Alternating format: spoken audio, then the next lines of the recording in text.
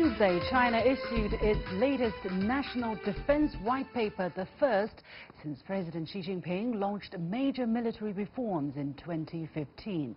The document sets out China's defense policy and highlights the diverse and complex security threats facing China at a time when some Western countries are disregarding China's contribution to global peace and development. But just what are the threats facing China and what exactly is China's role in maintaining international security? Welcome to The Point, an opinion show coming to you live from Beijing. Joining me for the discussion from Washington, D.C. is Michael O'Hanlon, a Senior Fellow and Director of Research for the Foreign Policy Program at the Brookings Institution. From London, Alexander Nekrassov, a former Kremlin advisor, and in our Beijing studio, You Dongxiao, Associate Professor at China's National Defense University of the People's Liberation Army. Gentlemen, welcome to The Point. Now, um, China issued its first ever defense-related white paper back in 1995, and this is the 10th white paper on national defense China has issued. Uh, Mr. Yu, could you please give us the context of exactly what is the purpose of the release of such white paper and who are involved in drafting such a report? Um, is it a similar common practice among different countries? Uh, yes, uh, just as you mentioned, this is the 10th national defense uh, white paper issued by the Chinese government the main purpose is try to uh, brief the China's assessment of the national security environment, the defense, uh, defensive defense policy of China, and the uh, reform in the China's defense sector and also military, and the China's contribution to the world peace and stability. The sole purpose for launching or issuing this defense uh, policy white paper is to try to uh, make China's defense policy more transparent, to enhance the understanding of China's defense policy and uh, improve the mutual understanding and uh, confidence. Mm -hmm. Well, this was the, the 10th such paper. Um, however, it, was the it is the first such paper that was issued in 2015, meaning it took four years to come up with this latest one, whereas the ones uh, before this one uh, came out every two years. Exactly how to explain this bigger gap between this one and the previous version of, of such a white paper? Mr. Yu. Uh, it's true that uh, uh, in the previous uh, nine white paper, it issued roughly every two years. But it, uh, two, it takes uh, four years for us to issue the latest, the 10th white paper. I think the main reason is that, as you know, China is undergoing the largest reform in defense sector and in military, uh, which is roughly divided into three phases. Uh, the first phase is the reform of uh, leadership and the command system. The second phase is the reform of force structure. These two phases are basically completed, and now is undergoing the, the last phase, the third phase, that is the reform of policies, rules, and institutions. So uh, I think uh, this uh, phase is roughly expected to finish next year, 2020. So it's the time for us to issue our new uh, white paper. Mm. What before I go on to our foreign guests, what are the central messages or the most important message in your eyes that's being sent through this white paper? It, it give out the fundamental objective of China's military, for instance, it give out China's principle and the way how we achieve a modern army. But uh, what is new and what is not? I think the core message of this paper is that uh, uh, now China is undergoing a major military, largest military reform since the founding of People's Republic of China in 1949. And the China's military capacity uh, and uh, military power increased dramatically. Uh, but China still stick to the peaceful development road, and China's defense policy remain as defensive in nature. China never seeks hegemonism and never seeks the uh, sphere of influence. Mm -hmm. And, and uh, there's even one more. China never seeks expansionist, expansionism policy either. So let me go to uh, Michael in Washington, D.C. Uh, what is your perception of uh, this white paper? Do you think the key message messages, as outlined by Mr. You, have been read uh, clearly by our friends in, in the United States? Well, greetings, and thanks for having me on. Thank I you. think that as a military analyst, if I can just try to imagine myself not being American, not being a Westerner, just looking at this from a pure defense point of view, a lot of what China is doing makes sense. Uh, many of the points that Mr. You made about streamlining the military, focusing more on high technology, focusing more, uh, frankly, on power projection, despite what you just said about no hegemonic or expansionary ambitions. Nonetheless, from a defense and strategy point of view, these are the sorts of things that you would expect a rapidly modernizing country with uh, roughly 200 billion a year in military resources able to devote to defense modernization. So that's one category of my response. But as an American foreign policy analyst, I can uh, underscore that, as you well know, there are many Americans who see this kind of rapid improvement in China's military capabilities combined with certain Chinese ideas like the nine-dash line in the South China Sea and get very worried that China, in fact, is still saying that it believes in peaceful development, but in fact is developing expansionary ambitions, not because China is an evil country, but just because big powers behave this way historically. And when we see the combination of President Xi uh, reasserting his own control over Chinese politics, the Chinese military budget going up, this kind of a Chinese defense white paper, and then the claims on the South China Sea, many of the islands within, and so forth, many American foreign policy commentators get worried that China is developing the kind of hegemonic ambitions that great powers in Europe, let's say, used to have in the 18th and 19th and 20th centuries. So that's the second category of mm -hmm. my mm-hmm. response, which is a little bit more concerned than the first category. I see, I see. Um, Mr. Yu, would you like to already to respond at least to some of the key points that uh, uh, Michael just uh, highlighted just now? For instance, uh, um, that uh, China is spending a lot of money on the military. We're going to take a closer look at the kind of uh, military expenditure China has been putting on building its national defense. Mr. Yu, what is your first response here? my response that just uh, our American friend mentioned, uh, yes, there's a strong uh, strategic suspicion against China's quick rise in the overall national strength.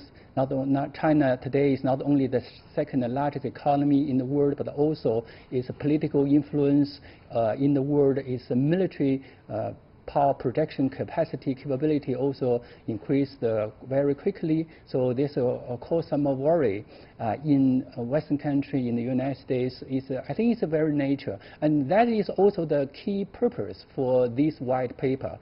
Uh, maybe uh, it's, uh, it's not easy or impossible for us to use one white paper to persuade our Western friends to understand China has no such kind of hegemonic ambition. But anyhow, we try to demonstrate or to, to recommit our commitment to peaceful development. And for the South China Sea, uh, we believe that uh, China has the sovereign, sovereignty, uh, uh, sovereignty over those islands in South China Sea, and also is the legitimate rights for China to take all the uh, necessary measures to safeguard our national uh, territorial integrity and sovereignty over those islands. So uh, uh, basically, basically, it's it's said within this paper that uh, um, the the situation in the South China Sea is actually quite stable. The countries that are in the region uh, have this kind of mechanism to discuss, to consult with China about any possible fluctuation in the security situation, and the situation is not worrisome to countries in the region. So, um, Mr. You, do you understand the kind of concern that uh, countries outside the region, for instance, the United States, has been expre expressing, um, regardless of the fact that people, countries in the region are taking care of the situation? Uh, I believe that uh, uh, the South China Sea uh, is a very important sea area in the region, and I also agree that it's a very important uh, sea link, uh, of communication SLOC. but I don't think there's any challenge or threats to the safety of SLOC in the region. There's no uh, to the freedom of navigation. The problem is some countries, some maritime powers, they send warships to this uh, sea area. That actually poses the military threat to the regional uh, peace and stability. And that force China to take some react reactive measures to protect our uh, rights and security in the region. Okay. Well, I'm going to give Michael um, maybe a, a, chance to react to what we just said, but let's really not dwell on this issue because we can take a few hours to discuss the South China Sea issue. We'll not get out of it. And I want to get, our, uh, get to our friend uh, Alex, who's standing by in London. Michael, you want to react very quickly? Yes. Yeah, I'll be quick. Thank you. Uh, first of all, I would say it's not quite as simple as to claim that the regional countries are all very happy about the situation.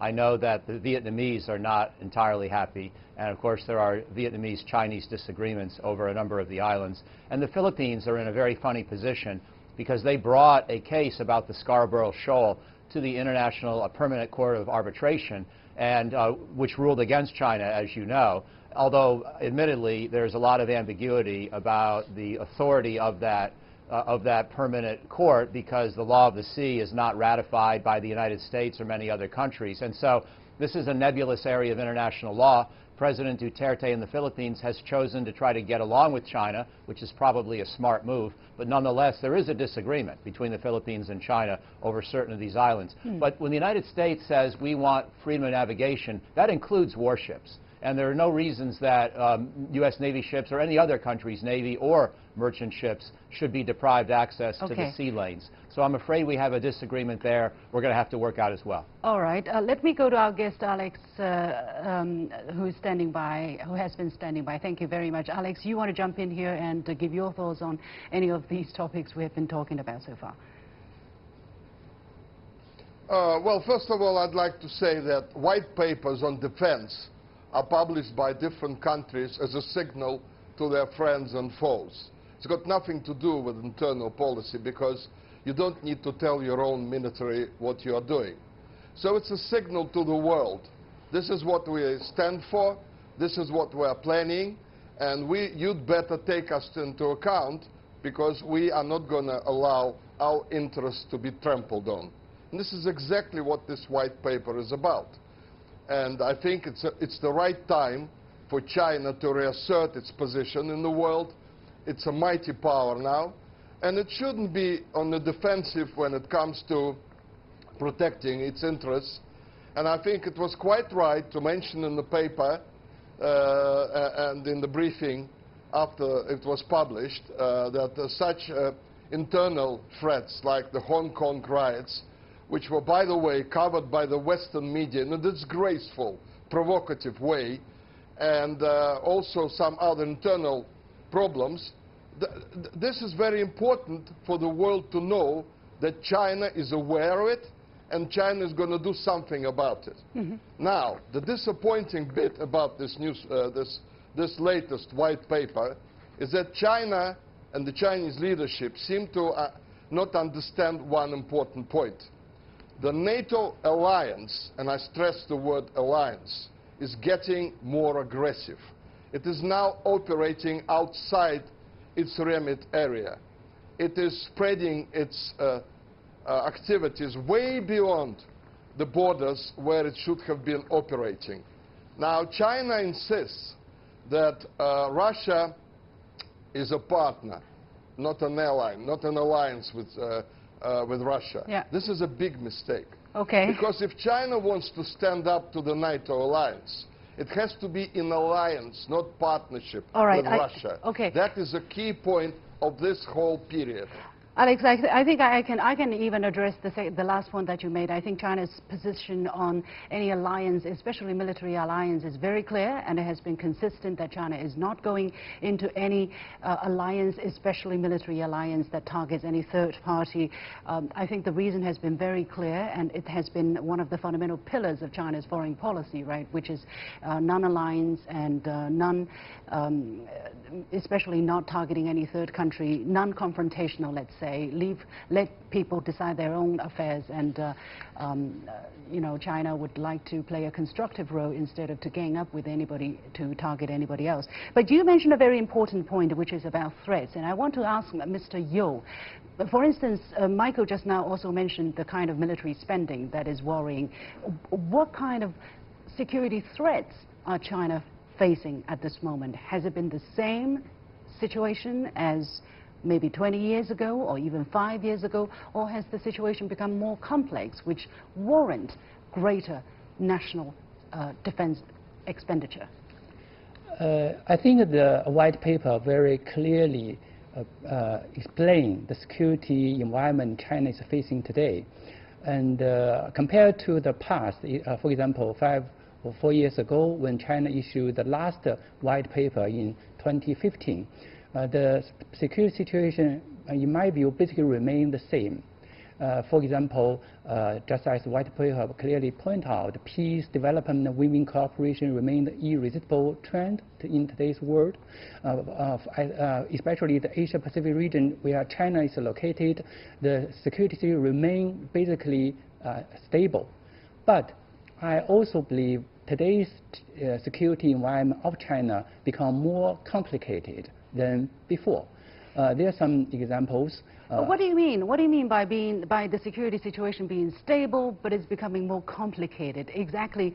Uh, what I mean is that the general situation is uh, still remains stable. There are no uh, major military uh, threats to China national security. There is no very high possibility of a large-scale military conflict between China and other countries. Mm -hmm. but I cannot rule out those Uh, possibility of small-scale armed um, conflict between China and some uh, countries, for instance, in South China Sea or some in some other areas. So that is why I say there, the security situation, there's, uh, although basically remains stable, but uh, there are still a lot of uh, complicated factors. Uh, just now, uh, our American friends mentioned about the freedom of navigation. I just want to South China Sea, I just want to highlight three points. One is that the disputes in South China Sea between China and other some uh, South China, uh, South Asia claimants is not a new one. It for many years, but uh, just because Americans' new policy of re rebalancing policy and uh, the returning to Asia Pacific in 2010, this issue become more hot. Second point, uh, uh, China, I don't want to re uh, reiterate China's position on the so-called arbitration uh, case uh, issue between China and the, the Philippines. we believe it is illegal and we not recognize its legality of the ruling. Yes. The third point is that we, we there's no any threat to the freedom of navigation of any country, including both civilian commercial ships and warships in the South China Sea.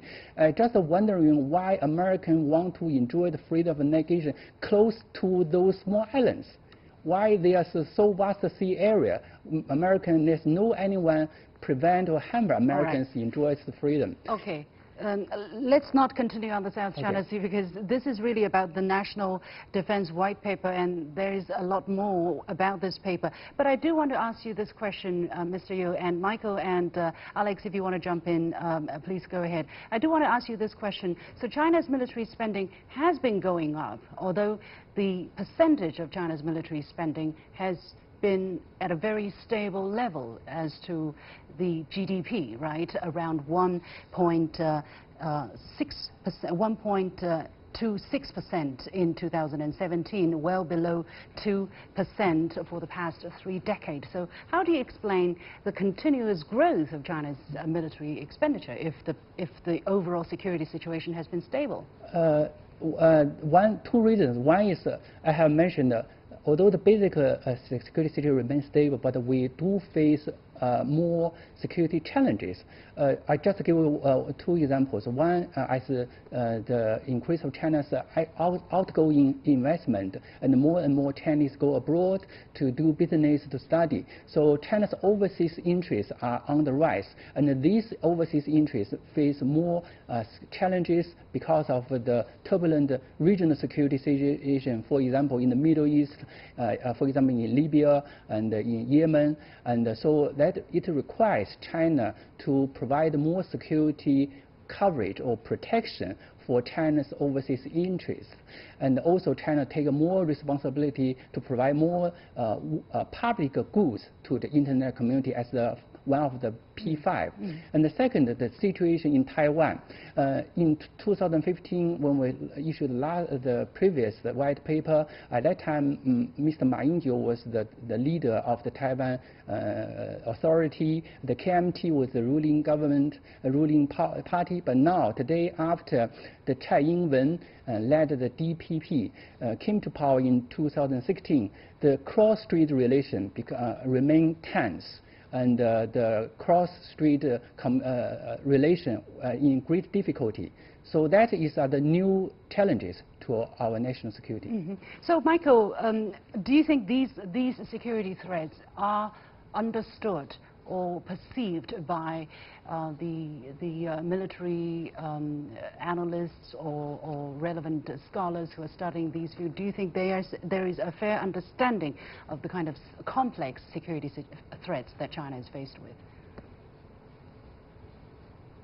I think so. You probably took note a couple of weeks ago of a letter that Michael Swaine of the Carnegie Endowment and others organized that probably several dozen American foreign policy experts signed and they were very concerned about the growing uh, tone of much American discourse that sounded almost echoing the Cold War in regard to China. And, and they were trying to say that, you know, while we have real concerns about Chinese foreign policy and Chinese domestic policy, nonetheless, the signers of that letter did not think we should interpret the current moment as anything similar to the Cold War. Mm -hmm. And I agree with them and I do worry that we might slightly overdo it in the United States. You know, even in the United States, we, we tend to assess that China's military budget is a little bit larger than you said, but even our estimates are still less than 2% of GDP. Mm. And you've got three different countries represented on your panel today. My Russian friend and I, we are, we're each from countries that spend more than 3% of our GDP on our militaries. And so in that regard, the Chinese uh, defense budget or military budget is not that un unusually large. Uh, but it's grown so fast because the Chinese economy has grown so fast mm -hmm. that nonetheless there is this growing sense of worry. And the last point I'll make, Mr. You, I think very correctly pointed out the way China views its growing overseas interests and the need to protect them militarily because now it has the potential and the capability to protect them. China had overseas interests before, but it had no means of protecting right. them. So it had to hope that those interests would be stable or protected by the United States. Any country is going to prefer to have some capability to protect its own interests. So it's natural that as China becomes more capable of protecting its own overseas interests, it will want to do so. But I think Americans look and say, listen, the whole international order has worked pretty well for China. They've grown economically largely because of this order that the United States has protected. And so we would like to see a little bit more cooperation from China on issues like handling the South China Sea. The nine-dash line really concerns us. That's a relatively new development in Chinese foreign policy to place such emphasis on that nine-dash line. And All that's right. one of the reasons why American strategists are concerned. Mm -hmm. Fair enough. Alex, what is your take? Um, I mean, Russia is, se seems to be out of the picture for the moment, but uh, uh, nevertheless, Russia is a very important partner to China, and China considers Russia's role extremely important. What kind of security challenges do you think the two countries share uh, in, in today's world? Well, first of all, the biggest one currently is the information war, which is waged by the West against China and Russia and other countries. And this war is becoming more and more aggressive. And unfortunately, China and Russia does not, do not have the coordinated policy in resisting that war. Now look at the, at the way, for example, developments around, around Iran.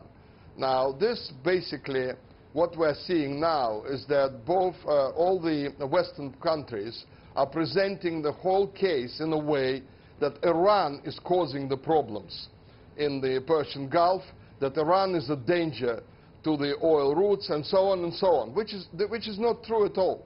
The Americans have started this process by pulling out of the nuclear agreement. The British have continued these provocations with seizing an Iranian ship. But the Russian and Chinese media are not that aggressive in defending Iran and defending their position on Iran. And I didn't see the Russian and Chinese media uh, have a, you know, take a good, good hit at the Western media for Hong Kong, for example, or Ukraine, where the situation is so dire that uh, basically a big, new, a big war can happen in Europe.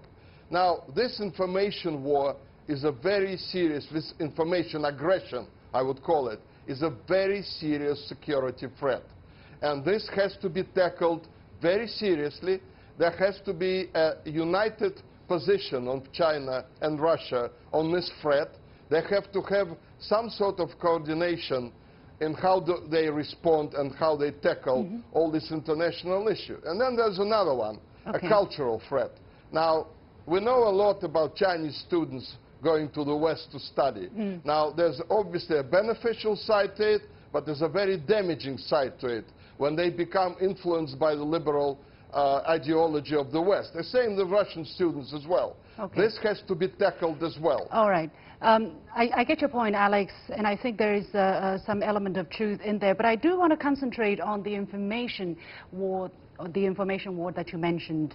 Um, by the way, we here on this program, we talked very aggressively or very intensively about the Hong Kong issue, trying to bring the other side of the picture to our international audience. Nevertheless, I do think there is a, a information imbalance between uh, China or between Russia versus the West, which is very much powerful in having a say on international affairs or how international affairs are perceived by international audiences. So, Mr. You, how do you look at this issue of this information war that could be waged at this moment by the West against China and Russia? Uh, yes, I, I just, uh, uh, as our, our, Russian friends, uh, I totally agreed with him that uh, now there's a, a strong uh, influence balance, information balance and uh, between China, uh, Russia, and the Western countries. Uh, for example, information imbalance. imbalance, information imbalance, mm -hmm. and there is information warfare against China in, in, in many issues. For example, Hong Kong issue and some other issues.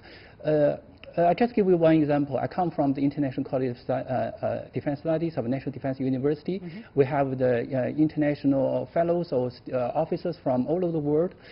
But before they come to China, what we, they know about China is from Western media. On the internet, there are English or French uh, language dominant uh, information. So what they know about China actually all are quite negative. Mm -hmm. But when they come to China, when they contact with Chinese, listen to our uh, professors' lectures, they can know, uh, have a more comprehensive or balanced yeah. view of China. So indeed, uh, one of the very important things highlighted in, on the, uh, in the white paper is the kind of international exchanges, right, that is being uh, undertaken by Chinese military with their international counterpart. Michael, I want to go to you real fast. Maybe uh, try to limit it in 30, 30 seconds. Uh, what is your reaction to this question that Alex mentioned about this information war, information imbalance between China and Russia and uh, the Western countries, and what kind of security uh, threat that poses to these two countries? Well, Alex had a lot in his comment, and uh, there are fundamentally different challenges, I believe, in regard to the U.S.-Russia relationship and the U.S.-China relationship. And I actually think the information uh, problem is much worse in the U.S.-Russia relationship. So personally, I don't lump them together. We do have issues with China. We have different political systems. We have important disagreements over economics and military strategy right now. But I don't think of this as being uh, fundamentally an information war. I think of it as a policy disagreement. Whereas with Russia, we know there is subterfuge, there is covert activity. Uh, there are a lot of, uh, of, of, elements that add to the intrigue, okay. that add to the confusion, All and right. that do perhaps deserve the name information war. But I, I don't use that expression in the U.S.-China relationship. All right. Uh, we are going to leave it there. Many thanks to my guests, Michael O'Hanlon in the United States, Alexander Nekrassov in London, and uh, You Dong xiao here in Beijing. And that's it for this edition of The Point with me, Liu Xin. Uh, you have been um, watching a very um, special edition. I'll see you next week at the same time.